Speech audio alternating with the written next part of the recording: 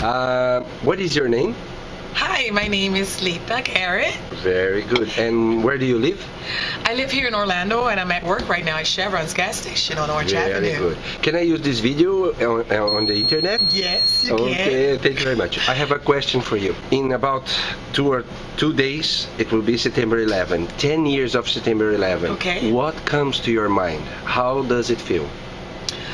Well, the way I feel about it was September 11 was uh, a warning letting us know that things can happen in the United States just like it happens all over the world. Mhm. And to remind ourselves that uh, tomorrow's not promised, so let's live our life positive and remember what was lost and try to better the world by loving one another more. Thank you very much. You're welcome.